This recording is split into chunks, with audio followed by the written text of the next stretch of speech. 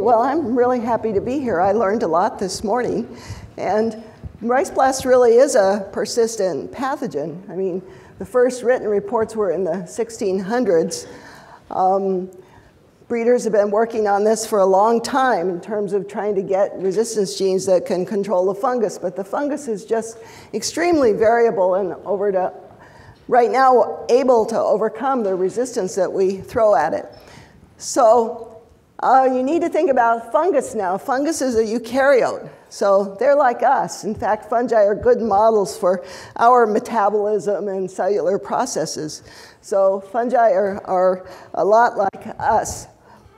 Now, I'm going to, hopefully, um, so my talk is about follow the effectors, understanding ancient and emerging blast diseases of rice and wheat. So this is rice blast. This is the, the panicle where the grain forms. And you see this dark region here is the fungus. So the, the neck of the panicle is especially susceptible to this fungus. And if it gets infected, there's 0% yield. So it's a very explosive disease. There's also leaf lesions here. Um, this is wheat blast, which is an emerging disease, only been seen since 1985 in Brazil. So it's an interesting contrast because we think rice, uh, the blast fungus probably moved to rice around 7,000 years before present, whereas wheat blast is new. So the fungus, Magnaportha oryzae, causes disease on leaves, nodes, and panicles, so basically all above ground parts of the plant. It destroys enough rice each year to feed about 60 million people. Uh, the community has um, cloned, has identified over 100 resistance genes now. Um, this is probably an old number, but 25 of them, at least 25 have been cloned, and 11 have uh, have their um, cloned corresponding avirulence genes, which we'll get into a little bit more. But it's still often controlled by fungicides because the fungus is very easily, within one to two, uh, to two to three years, the fungus is able to overcome any resistance genes that the breeders put out there. Wheat blast is behaving a little different, so it's mainly on the heads. And again, if the rachis is infected, all of the head above the, the infection is dead. So you can get 0% yields. It was first discovered in 1985 in Brazil and restricted to South America until uh, 2016 when it moved continents and uh, showed up in Bangladesh. Unlike rice blasts, where we have 100, over 100 resistance genes, we're only find, we're having trouble finding resistance genes in wheat to the blast fungus. We've got one gene that kind of works, but that's it. And fungicides don't work if the environment is right for disease. So this is what I'm talking about. It's, it can surprise you.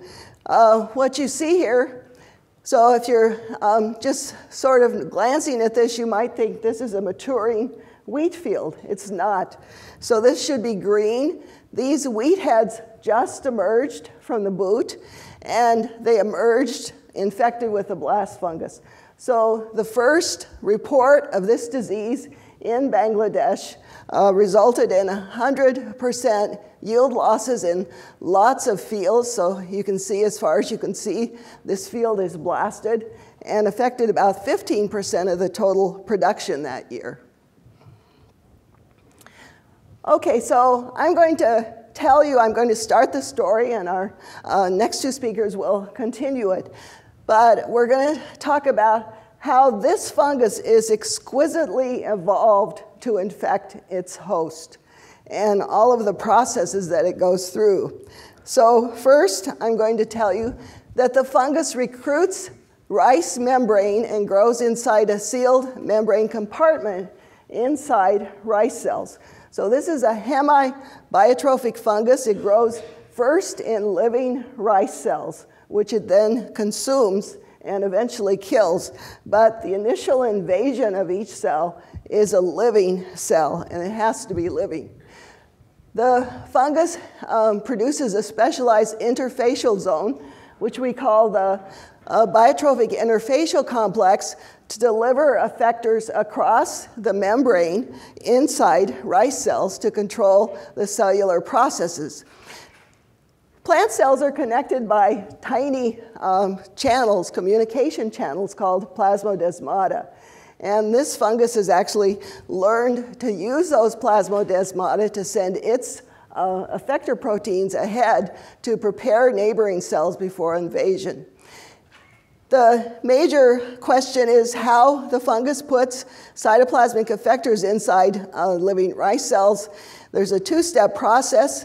So, for a long time, we didn't know of any examples where a eukaryotic pathogen has a special secretion system, uh, sort of analogous to the type 3 secretion system in bacteria. But now we know that it is, does have a non conventional secretion system specifically for these effectors. And um, we think that the rice pathogen co ops endocytosis to get the effectors on in. Then I'm going to end up talking about wheat blast a little bit, and I'm going to talk about uh, our newly assembled genome for the wheat blast pathogen and what it says about effector gene mobility. Okay, so effectors are basically um, proteins, usually, or molecules produced by the pathogen secreted into the plant um, and um, they, they have two opposite roles. So for the fungus, their role is to promote host susceptibility. They need to do the processes that cause disease.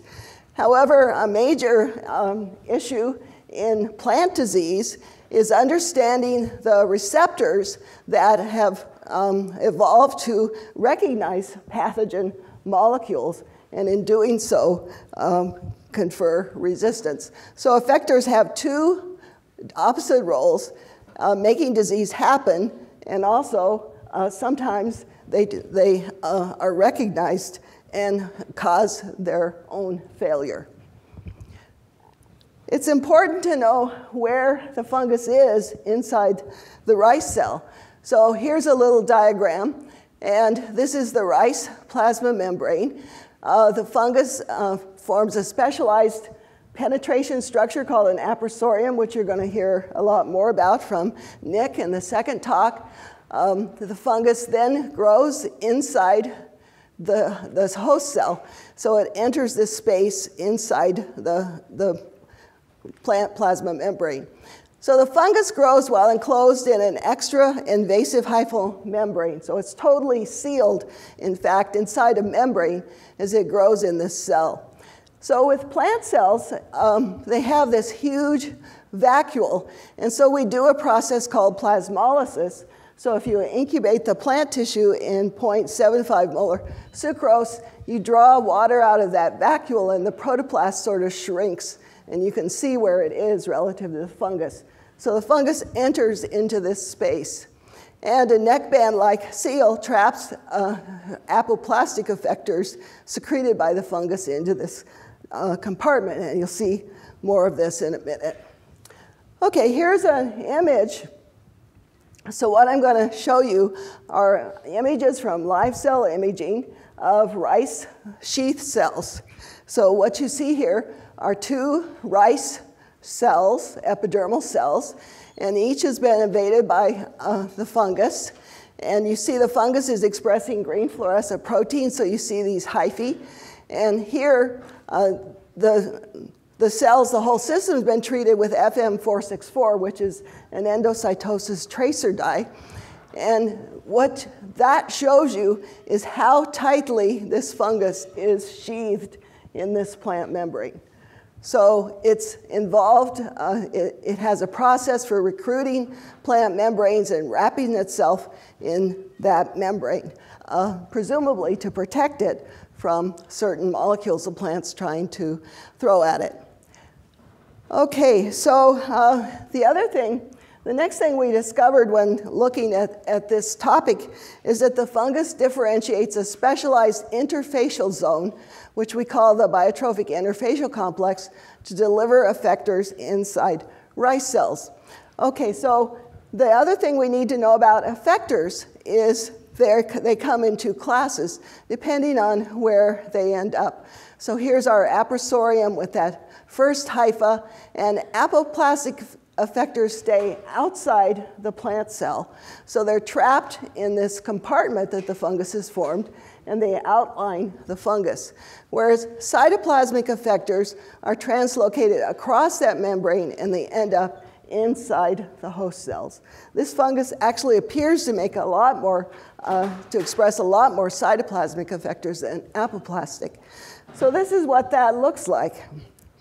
So here you see this hypha that's growing almost filled up this whole cell, and it's expressing an apoplastic effector, which is labeled with a green fluorescent protein, and secreted by the fungus, and it's inside that membrane, and you see how nicely it outlines the fungus. However, the cytoplasmic effector, um, PWL2, is secreted into a special structure here um, which is the BIC. And it's also translocated into the rice cell, which I hope you can see it's actually right there in the rice nucleus as well. So these two classes of effectors have different fates, and they follow different routes to get to their fate. So this summarizes the, the biology of this fungus inside the cell.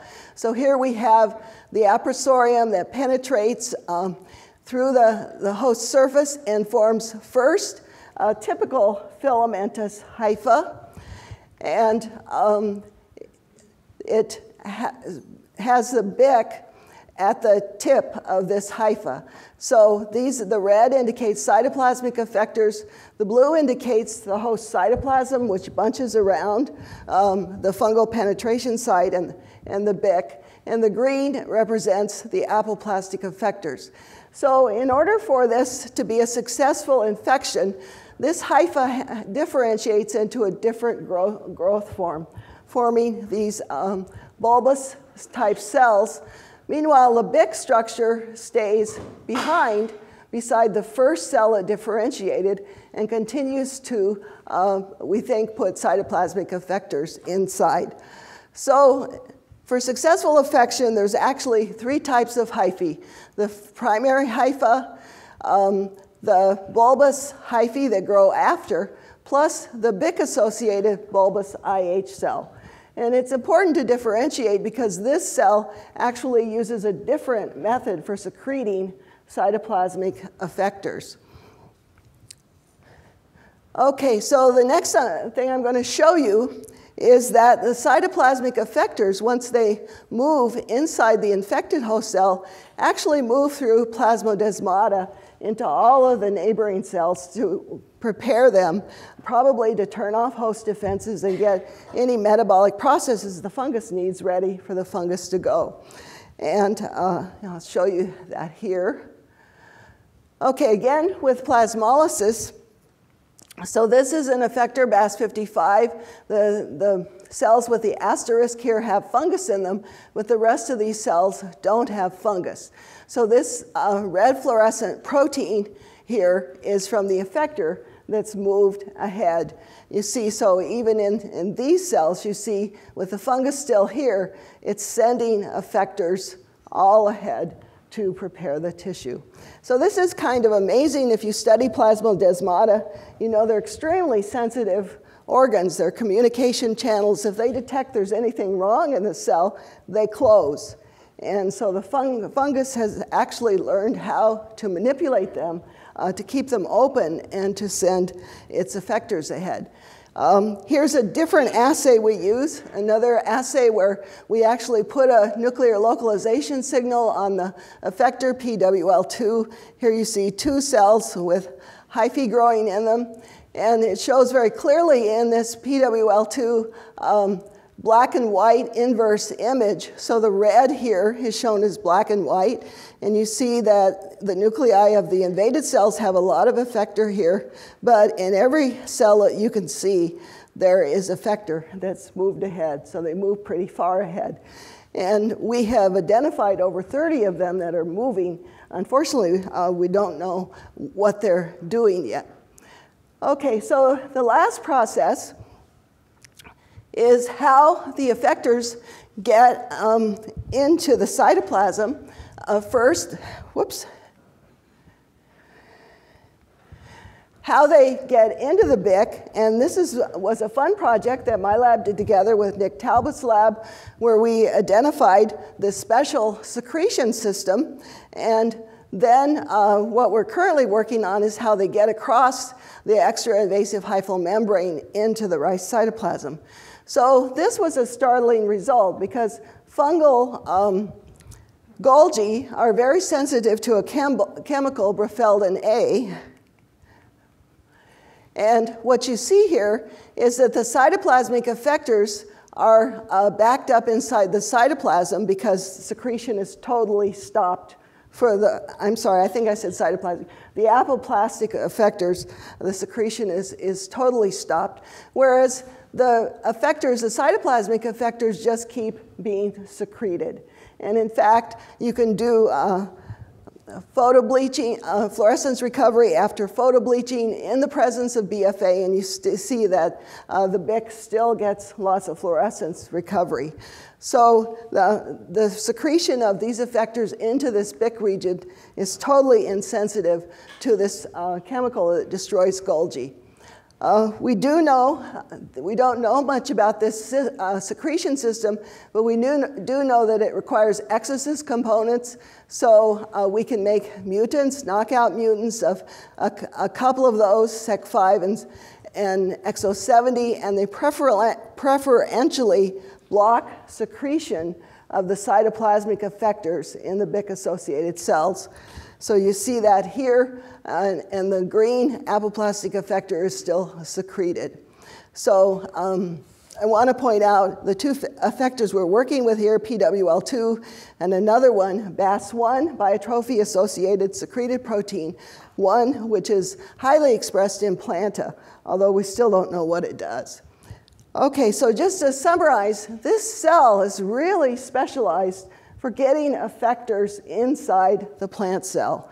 So the effectors, of course, were first secreted when it was still a hypha, and then this structure gets left behind as the fungus continues to grow in the cell, and it's secreting effectors um, very efficiently using a Golgi independent mechanism. Okay, so that's diagrammed here. Um, the cytoplasmic effectors get out into the, the BIC, and our hypothesis now is that they have co-opted the plant's endocytosis system in order to get into the plant cell. And that's based on higher resolution images of the BICs now that we're getting. So again, here is a BIC, but what you see is that there are clear vesicles here. So this is a, a cytoplasmic effector, PWL2 in red, and BAS4 is the apoplastic effector. And you see that the, the PWL2 is clearly in vesicles. Um, you can also detect vesicles inside of the, the host cell, so in the cytoplasm, and they're very dynamic. So I don't have time to go into more detail, our goal now is to actually prove that the fungus is co-opting uh, the plant endocytosis system. We're doing that using um, virus-induced gene silencing, uh, silencing plant endocytosis machinery, and also with chemical inhibitors.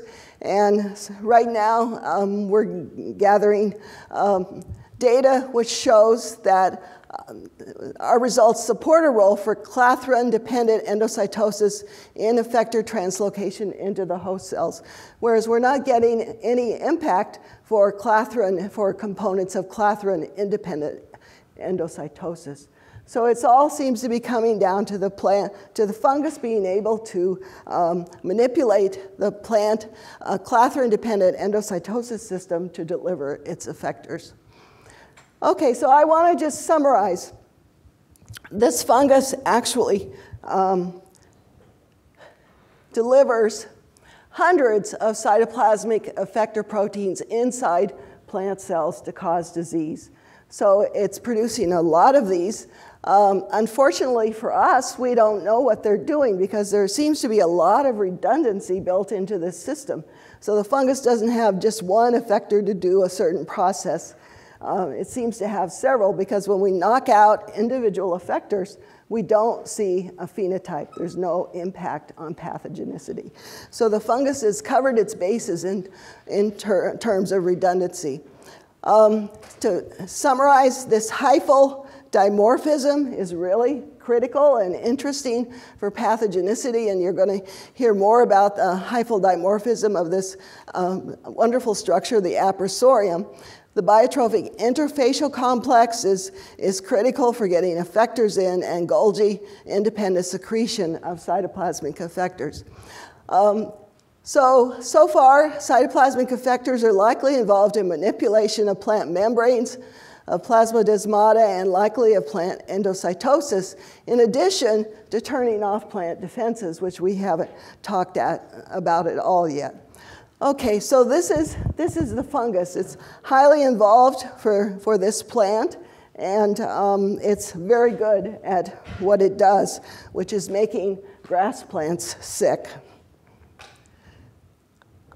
So that's the, the positive role. The effectors are involved in, in causing disease, but as I mentioned, the plants have a class of, effect, of receptors which have learned to recognize certain plant molecules. And uh, with this recognition, they trigger a very powerful hypersensitive resistance response.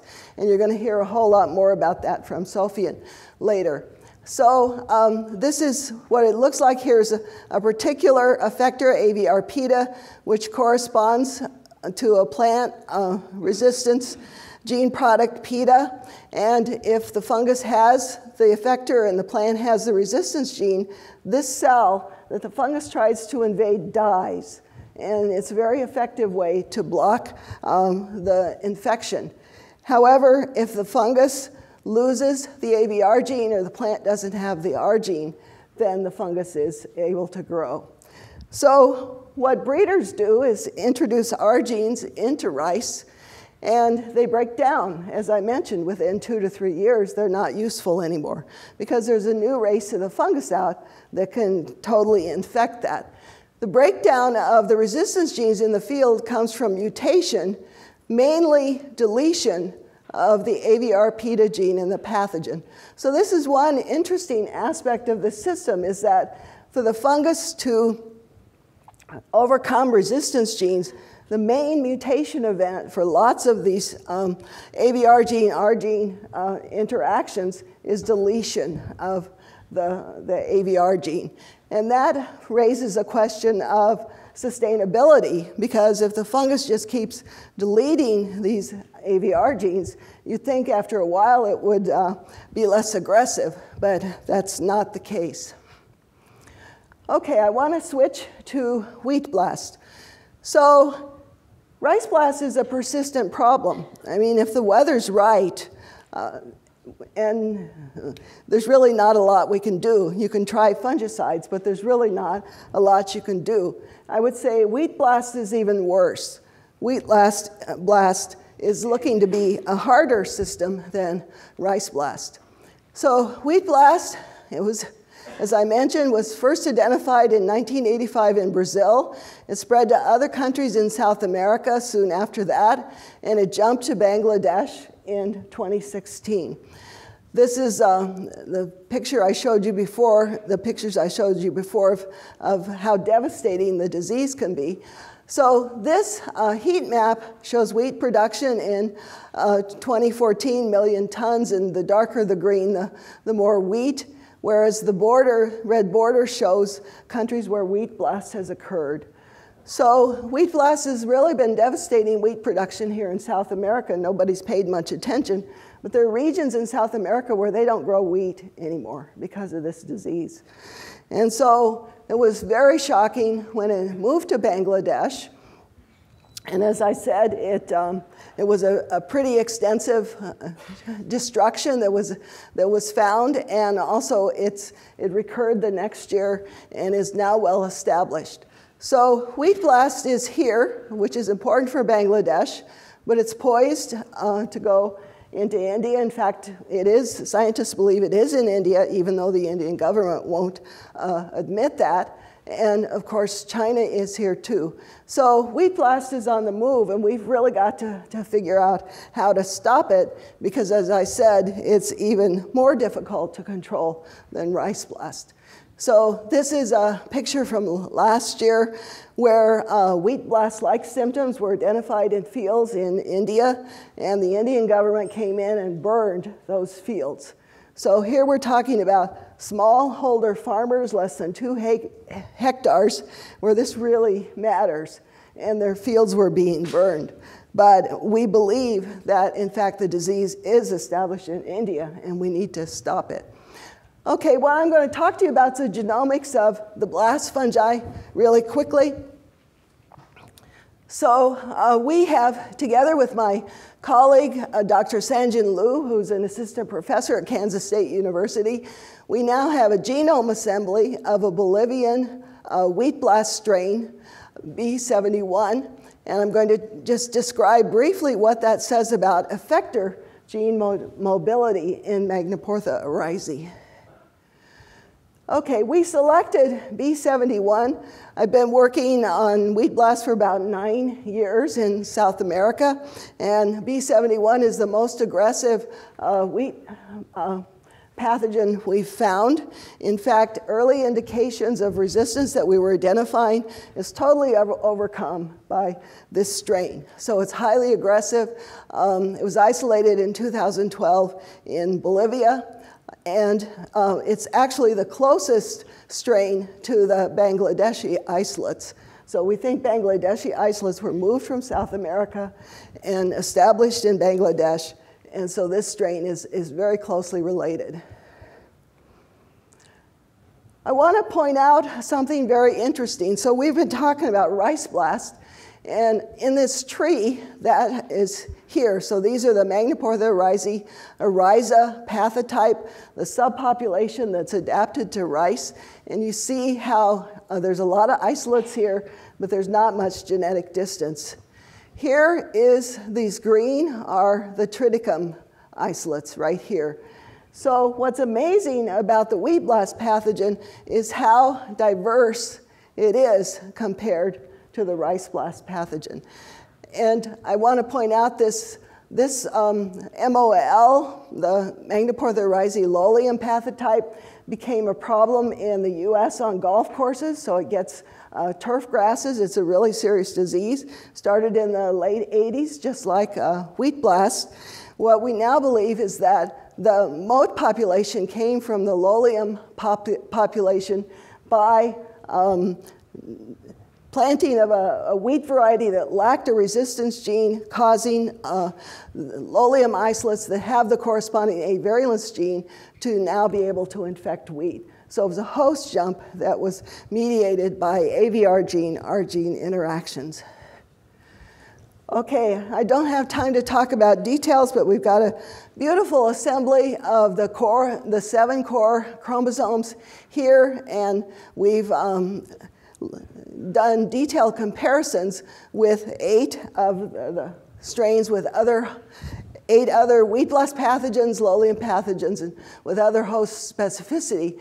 What I want to focus on, on here are these scaffolds, uh, one through five, which uh, don't have any correspondence in the rice blast pathogen. These, if you look at the different strains, these scaffolds are highly dynamic. They're clearly dispensable because some, some strains don't have them, and they're highly repetitive. So we thought these might be dispensable mini chromosomes. So mini chromosomes, that's another name for supernumerary chromosomes or B-type chromosomes. So they're chromosomes that are dispensable and sometimes carry important information. I don't know what I did.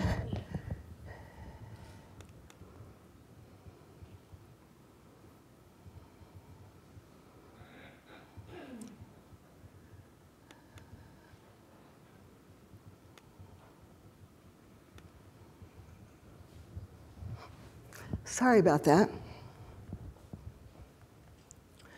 Okay, so what we did was um, looked at Chef gels, and in fact, they do correspond to mini chromosomes. So here's an early strain T25 from the 1980s in Brazil. It doesn't have mini, uh, mini chromosome. B71 has one, and another highly aggressive strain from Paraguay has two mini chromosomes. So we've done a lot of analysis, but just to prove this, we recovered DNA from the gels and through whole genome sequencing, uh, lined them to the B71 genome, and here you see the read depth, and you see that the sequences from here correspond to those five scaffolds.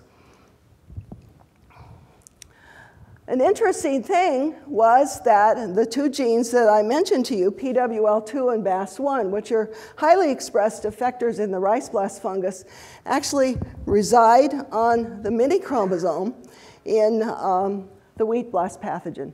So in rice blast pathogens, they're on different chromosomes, they're not linked at all. In the wheat blast pathogen, they're um, closely linked on the mini chromosome and they don't occur on the core chromosomes. So that was a surprising thing. We know that they are expressed on the mini chromosome and they show implanta uh, specific expression. If you look at the mini chromosomes of, of the other strain P, P3, here's the large mini chromosome. It contains the linked PWL2 and BAS1 genes, plus another AVR gene that was, was identified in rice, AVR uh, PIB. Many chromosomes also have various sequences, mostly various sequences from the core chromosomes, particularly the chromosomal ends. So you see here by the read depth that this mini chromosome has picked up some sequences from the end of chromosome 3 and more sequences from chromosome 6 and so forth. Here's the second mini chromosome, so it has related sequences, but it's also different um, it contains a different AVR gene, one that Sofian's very, uh, very excited about, which is AVR PIK. So it's a homolog of AVR PIK, plus it has five novel putative effectors. And it has picked up a section at the end of chromosome 7, which is now duplicated on both the core chromosome and the mini chromosome. Okay, so we've known from rice blasts that uh, AVR effectors genes tend to be at the ends of chromosomes. But I would say in this strain, it's really, really even more true because you see here clustered um, AVR genes and effector genes that have been identified in the rice blast pathogen that are in the wheat blast pathogen and that they really tend to map to the ends of chromosomes and on the many chromosomes. Okay, so I want to just summarize that. I mean, this is, this is work that's brand new and, and will continue in progress.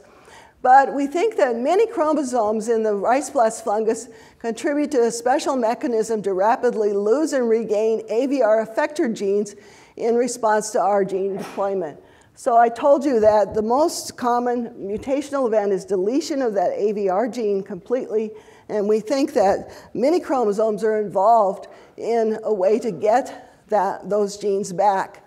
So uh, in particular, there's, there's nice work done by my colleague um, Yukio Tosa and his colleagues on a particular AVR gene, AVR PETA, which is highly mobile in Magnaportha risea rhiza strains.